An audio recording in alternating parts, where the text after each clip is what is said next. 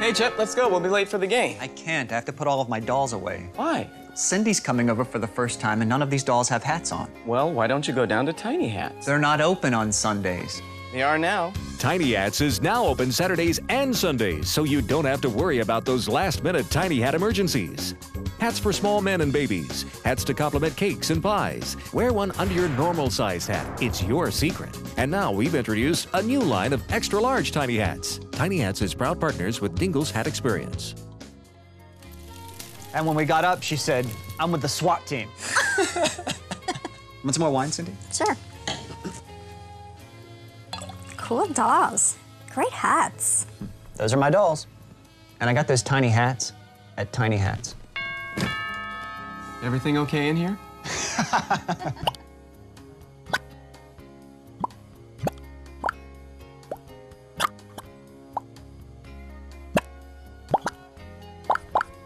Ah.